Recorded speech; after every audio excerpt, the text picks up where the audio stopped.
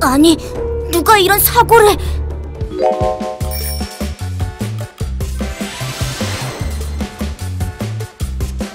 오늘도 신나게 뛰어놀았는지 LG전자반 친구들이 낮잠을 자고 있습니다. 코코는 낮잠 시간이 다 끝나기 전인데 벌써 일어났네요. 아, 잘 잤다. 어, 저게 뭐지? 누가 이런 사고를 친 거지? 낮잠을 자던 사이에 누군가 사고를 친 것 같네요. 반장인 내가 나서야겠군. 이 명탐정 코코에게 해결 못할 사건은 없어. 분명 범인은 이 안에 있어. LG전자반 명탐정 코코 등장!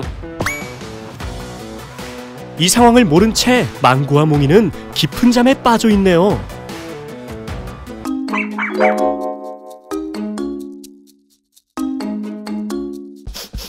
분명 범인은 흔적을 남겼을 거야. 코코가 냄새를 맡으며 단서를 찾기 시작합니다. 오, 그렇지. 이거야. 범인의 흔적이야. 발자국을 발견한 코코가 망고와 몽이가 자고 있는 곳으로 달려갑니다.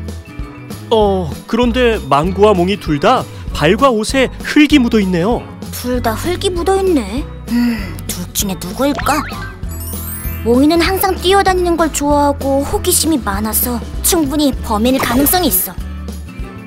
하지만 사건 현장 근처에 간식 부스러기가 있던 걸 봐서는 먹을 걸 좋아하는 망고가 범인일 가능성도 있어. 아, 더 확실한 증거가 필요한데. 어, 어, 안 돼, 기다려! 아직 범인은 뭐야?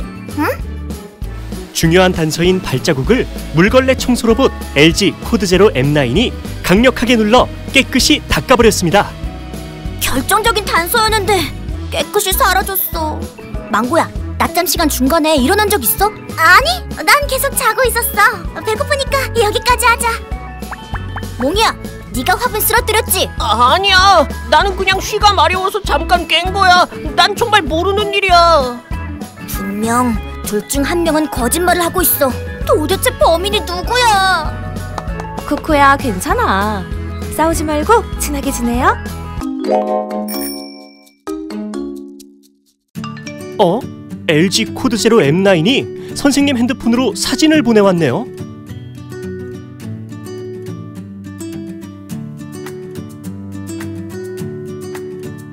아, 범인은 바로 망고였네요.